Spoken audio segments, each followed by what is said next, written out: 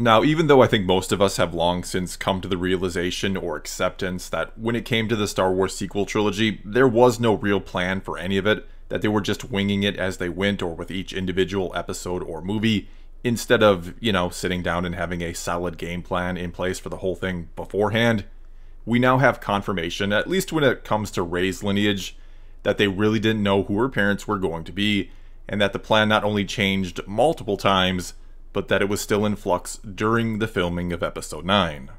And this lovely little piece of info actually comes to us from Daisy Ridley, or Rey herself, who was on the Jimmy Kimmel show last night, which was actually being hosted by Josh Gad for whatever reason. I don't know. I don't watch those late night talk shows.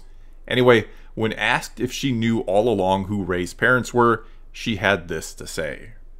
No, at the beginning they were toying with an Obi-Wan connection, and then it went, there were different versions, and then it really went to she was no one. And then it came to episode 9, and JJ pitched me the film, and oh yeah, Palpatine's granddaddy, and I was like, awesome. And then two weeks later, he's like, oh, we're not sure. So it kept changing, so even as we're filming, I wasn't sure what the answer was going to be.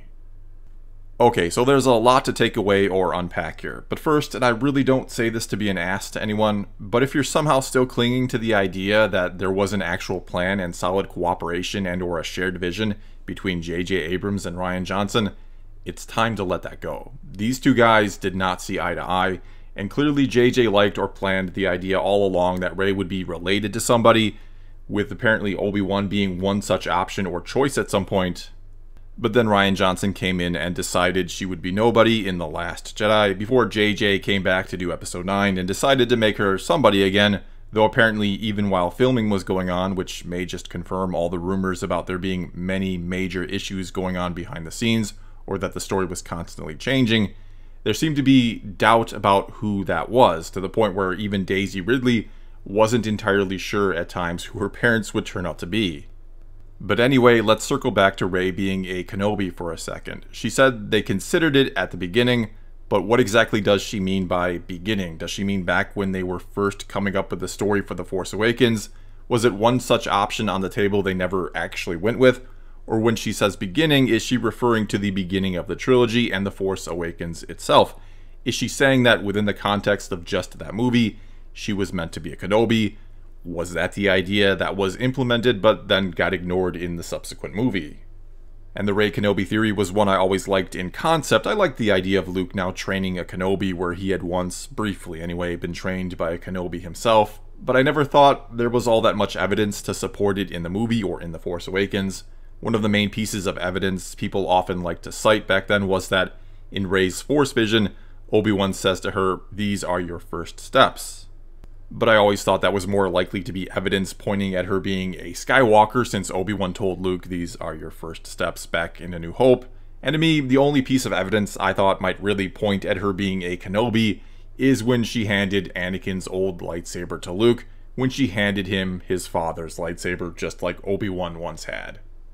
And the funny thing is, I don't even know why I'm talking like or calling any of this evidence like it could all have been pieced together and figured out beforehand when it was nothing of the sort. The Force Awakens was never a mystery for us fans to possibly solve.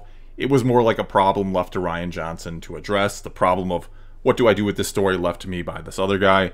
Though, of course, there's every chance, and it even seems likely considering what Daisy Ridley said here, that there was some sort of plan or vision that J.J. Abrams had, and that, for better or worse, it got completely ignored by Rian Johnson. And look, love or hate any or all of the sequel trilogy or the people behind it, I'm still curious to know what J.J. Abrams would have done with Episode 8, what his plans were for Rey, Snoke, why Luke was on the island, and so on. And no, I'm not saying they would have necessarily been great ideas, or that he had absolutely everything figured out, but I'd have to imagine or hope that he at least had some ideas and that they would have at least been consistent. And yes, I know some will argue that all J.J. Abrams knows how to do is to create a mystery box. He doesn't know how to open them and reveal what's inside, at least in an intriguing way. And I also know some people out there really do enjoy The Last Jedi. But especially here in hindsight, with the whole trilogy now done, of course, I just wish the sequels had at least been coherent and made sense. I wish there could have at least been a solid underlying story in there somewhere. Not unlike how the prequels maybe weren't exactly the best executed movies ever, but at least there's a great story to them, and some fantastic lore and world building to be had as well. But the sequels had none of that. The story's not only bad and inconsistent, but what world building and lore it does have tends to only conflict with what's been established before, not add to it. And as I always say, it's fine if you like the sequels, I have no beef with you but from my point of view, they had virtually no redeeming qualities, at least or especially when looking at the greater story of Star Wars that they were supposed to, of course, be a part of. Which again goes right back to having no idea what they were doing with the story from the very start, not sitting down and figuring out what the purpose of these movies, short of making money off of them, is even meant to be. Again, especially in terms of what they mean to the story of Star Wars overall because in case they hadn't noticed or thought about this, but the ending of Return of the Jedi was damn near perfect in almost every respect, from the beautiful way it concluded Anakin's story, to the decisive victory of the Rebel Alliance over the Empire, to the seemingly very definitive defeat and destruction of the Sith, and the implication that Luke Skywalker would now go on to rebuild and guide a new Jedi Order.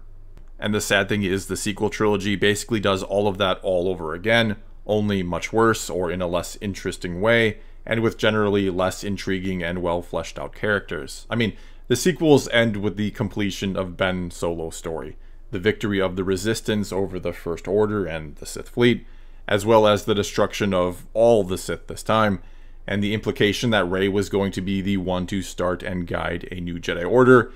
Basically, the story and ending is the exact same, but the names have all been changed.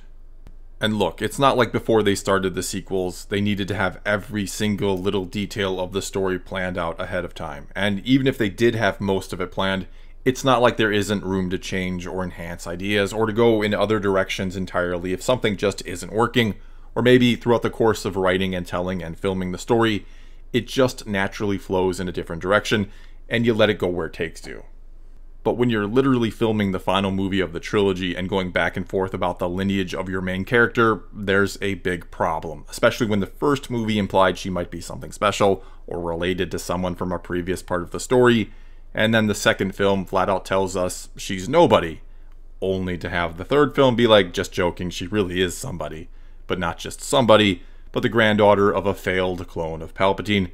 But you'd have to read the novelization to know all that. Anyway, I don't want to keep going on and on about this yet again. As I said at the top, this really isn't so much shocking news as it is confirmation of something I think most of us have long since come to know and accept.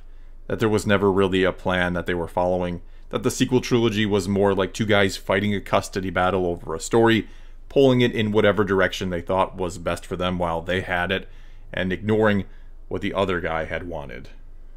Well, that's all I've got for you this time. Now it's your turn to tell me what you think of what Daisy Ridley had to say. Does this surprise you at all that there was no set in stone story for Rey and her lineage, or had you long since figured that out by just watching the movies? Whatever the case may be, leave a comment below and let's talk some Star Wars. And until next time, thanks for watching.